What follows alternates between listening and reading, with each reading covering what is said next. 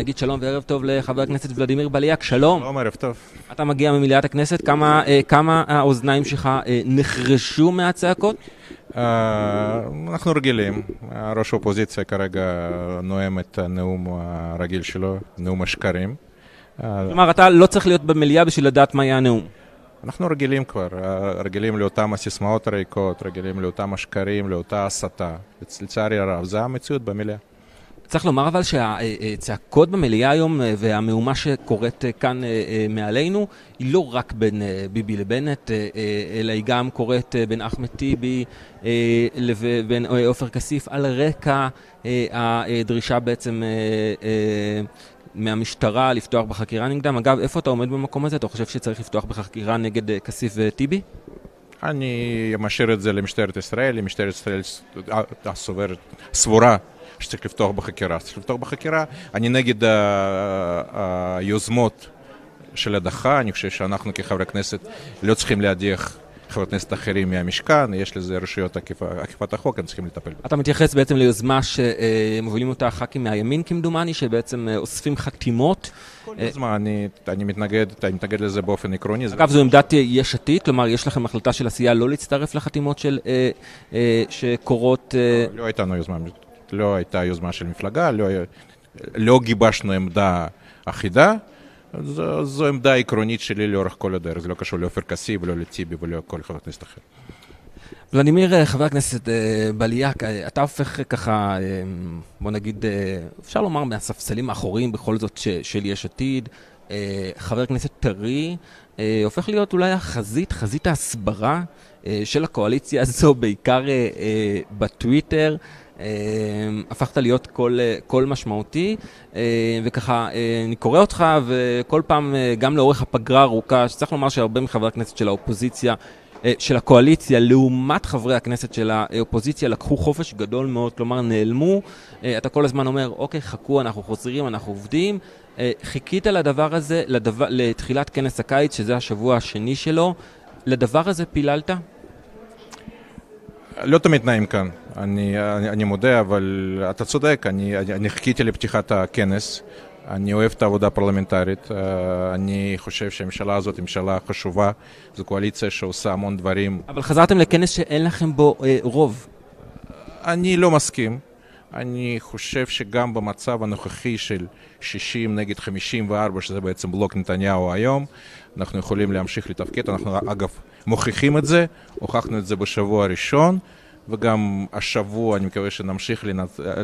לנצח, כי שוב, אני תמיד, אני זוכר למה אני כאן, אני כאן כדי לחוקק, כדי לעבוד, כדי להיטיב עם אזרחי מדינת ישראל, וכל עוד אנחנו נוכל לתחזק את הממשלה החשובה הזאת, אנחנו נמשיך לעשות את זה. דווקא היום הזה הוא אולי דוגמה לא טובה לכם, כי הצעות, הצעת חוק שאתם העליתם, שבעצם של לימודים ללוחמים, היא, היא, היה נראה שיש בה קונצנזוס, כלומר שאתם תצליחו לייצר מנוף של לחץ על האופוזיציה אה, להצטרף, שהם לא יוכלו לסרב, והם עמדו בלחץ, אה, מבחינת האופוזיציה עשו את שלהם, אה, וההצעה הזו לא עולה, אתם מושכים אותה.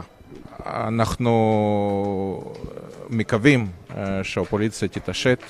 אה, מה זה עמדו בלחץ? עמדו בלחץ, בלחץ נגד האינטרסים של חיילי צה"ל.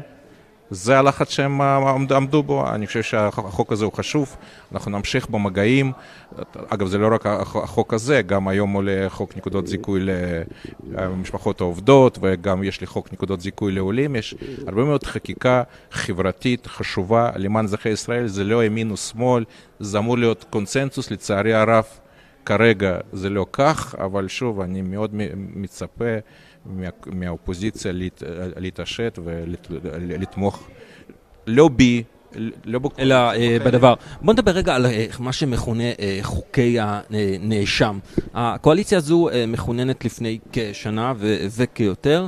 Uh, כשהיא מגיעה למעשה לאחר המחאה הגדולה, לאחר באמת uh, uh, איזשהו uh, אולי קונצנזוס ציבורי, לפחות במחנה אחד, ש, שבנימין נתניהו הוא אדם רע לפוליטיקה ורע למדינת ישראל, שוב, במחנה הזה.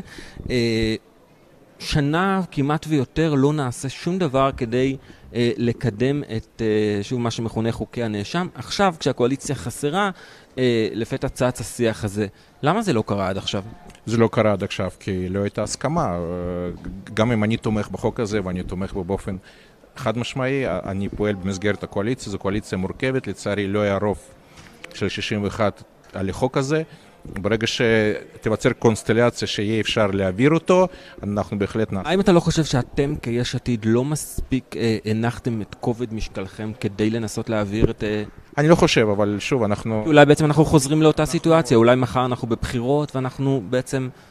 אנחנו מתפקדים כסוג של המבוגר האחראי בקואליציה הזאת, אנחנו מנסים לשמור עליה, לתחזק אותה, ושוב אני, אני אומר, אני תומך בחוק הזה, המפלגה שלי תומכת בחוק הזה, וברגע שתיווצר קונסטלציה שמאפשרת להעביר אותה, אנחנו נעשה את זה. שמענו אתמול את הציטוטים מישיבת הממשלה, אתמול אה, יום ראשון, אה, לפי, לפי הפרסומים, אה, בני גנץ נעלב ואומר לראש הממשלה, בנט, אתה משתמש רק באני ואני ואני, שאנחנו יודעים שזה מה שאתם אומרים על ביבי, והוא אומר, מה, אני שר הרווחה? אז ולדימיר בליאק, חבר הכנסת, באיזה צד אתה? אני חושב שעושים יותר מדי מה, מהמשפט הזה, אין ספק שזה משפט לא מוצלח. אני חושב שהתפקיד של שר הרווחה והשירותים החברתיים שממלא בהצלחה רבה חברי השר מאיר כהן, זה תפקיד מאוד חשוב בממשלת ישראל, אני, אני גם בטוח שהשר גנץ יודע את זה.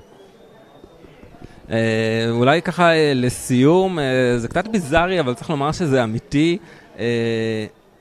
אם אנחנו זוכרים נכון, הייתה הכרזה על פריימריז ביש עתיד, אתה יכול לעדכן אותנו מה קורה עם זה? היה סיבוב ראשון, היה סיבוב ראשון שבעצם לא היו מתמודדים. על הראשות המפלגה. על ראשות המפלגה. עכשיו אנחנו מדברים על פריימריז לחברי ה... אנחנו עוברים תהליך מסוים של הדמוקרטיזציה במפלגה. נגיע גם לבחירות לראשות, לראשות המפלגה וגם לפריימריס, הכל בסדר, אנחנו הולכים בדרך שלנו, נגיע גם לזה. חבר הכנסת ולדימיר בליאק, אנשיך הנאמנים ככה מסמנים לנו שאתה צריך ללכת למליאה. אני מודה לכם מאוד, תודה רבה. תודה, זה היה קצר, אנחנו נשוחח, חבר הכנסת ולדימיר בליאק, יש עתיד, תודה. תודה.